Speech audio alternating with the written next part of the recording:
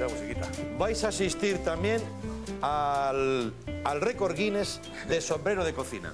Porque los vascos lo hacéis todo lo grandes, pero habéis tocado un punto que os voy a superar. He encargado el gorro más grande de la historia. ¿Qué? ¿Qué te parece? ¿Vale? Acojonante, ¿no? Vale. Te voy a decir una cosa. Cómodo no es. Cómodo no es, pero coño, impone un respeto. Tú estás así en la cocina, entra y ¿quién manda? ¿Quién va a mandar? Bueno, pues nada. Con este gorro, que tengo que aguantar ahora eso, eh, os enseño. Me lo voy a quitar, macho. Te lo no- sujeto si quieres. no, no, no sujetes nada. ¿Cómo estás, Eva? ¿Cómo estás? ¿Cómo estás, eh? El primero. El primero tengo una reducción de yogur. He reducido un yogur. ¿Qué, pasa? Eso se hace en términos de... He reducido porque la mitad me ha caído al suelo. Y, y quedaba feo, he pillado un poco de polvo, digo, pues ya lo reduzco. Lo he saltado con ganchitos iraníes, que yo no sabía que eran tan buenos. La cocina tiene eso, de repente te dicen, ¿has probado el ganchito iraní? Joder. Y caramelizado todo con anchoas del presidente Revilla, que cada vez que viene me trae una caja. No sé si sabéis eso. Sí, Sí, tengo, sí. anchoas hasta que muera. ¿eh? Y digo, voy a invertirla. Este es el plan. ¿Qué te parece? ¿Está bueno? Impresionante. Es bonito. ¿Estáis por el rollo este o no? Por la cocina así tan reducida hasta el punto de Mira, que... la estética es muy bonita. El ganchito no es libanés, es un ganchito de toda la vida. Sí. Pero bueno, Me han dicho está que... muy bonito. La anchoa, no sé si es del Cantábrico. No, Y es más de medio yogur. la, pues la anchoa está ahí. Lo que pasa es que está diciendo, ¿qué hago yo en medio del yogur? Vale, este es un ejemplo. Si queréis luego lo paso. Porque creo tanto que, que, que no sé qué hacer con lo que creo. Y entonces tengo, de segundo, he deconstruido un pollo. Que este es un término que se utiliza mucho, la deconstrucción, Sí, ¿no? sí. ¿Qué sería deconstrucción? Pues... La de un pollo, Sí. pues malo para el pollo. Malo pa'l pollo. malo para el pollo, fijo. Mira, el problema que tengo es que yo soy de Tarragona y he, he tenido que ir a la zona de Tarragona y me han dado un pollo de asco, que es donde hay... Esto no, estos días hay un problema porque hubo una fuga, el director dice que no, ya lo han echado. En fin, que está la cosa caliente en Asco y me ha salido un pollo un poco... En fin, Parece que ha comido Kryptonita, ¿no? hay que, hay que vigilar la calidad de los alimentos, ¿eh? Veo Oye, que... asco. Claro. O la granja de alrededor. Sí, Pero veo que a la presentación le sigues dando mucha importancia. Sí, por Sí, supuesto. sobre todo por la naranja. porque dijo que sea la naranja. Me extrañó porque el, el granjero tenía una trompa verde delante. Y dijo, joder, ¿cómo ha cambiado Tarragona, no? Y ya para terminar, el postre. El postre es este. Me gustaría veros... ¿Eh? Un guajolote. ¿Qué tal? Eh, No soy- a ver, Soy, tengo... Perdone, ¿eh?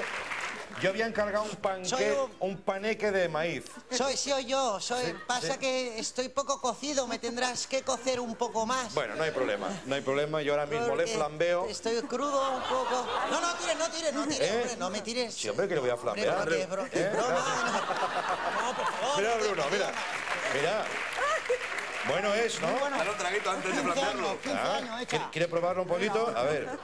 Pues esto parece un guajolote. ¿Da su aprobación? Entra como el agua. Oye, esto es Muy como bueno. una pesadilla. ¿Te imaginas que el alimento tuviera que probar el flambeo? Bueno, adelante. Pelándolo un poquito. Hombre, es mucho mejor cualquier ave que primero Claro. Tal, o por arriba o por abajo meterle un poquito de asunto. Sí, sí. Y luego, y luego pelarlo un poco también, ¿no? Quitar estos cañamones. Bueno, en fin, Bueno, luego ya- no vamos a hacer ahora aquí ya- una carnicería, pero... No, vaya, no me queméis, Pero, tampoco hace falta que... eh, ¿Lo quemo o no? Es que no, coño, que no me queméis. vale, vale, vale. Bueno, pues nada, ya lo dejo. Eh, en fin, no contaba yo con esto. Pensé bueno. que me despista. ¿eh? Vale. Eva, Bruno, gracias por venir y por favor continuar con esto, porque es necesario. Yo creo que es lo más importante. Lo segundo más importante. Bueno, ¿eh? pues Muchísimas Muchísimas gracias. gracias. Lo- de lunes a viernes guapo. a las 10 de la mañana. Apunten, apunten. Adiós, guapos. Adiós, buenas. Andreu Buenafuente. ¿Eh? Andreu Buenafuente. ¿Qué? Andreu Buenafuente. ¿Qué dice? Aquí debajo la tapa. ¿Qué quiere? ¿Qué? Que ya está ya mi actuación. Porque siempre me traéis aquí mm, y yo soy un actor profesional y me hacéis aquí hacer el espantapájaros y con un poco respeto. Yo he venido aquí más veces y siempre me hacéis lo mismo. Usted ya ha venido otra vez, no me suena. Yo soy Juan Ramón. Juan Ramón. Yo he venido aquí más. Mira, levanta un brazo. Levanta un brazo. Señala a la cámara. Di top. Top.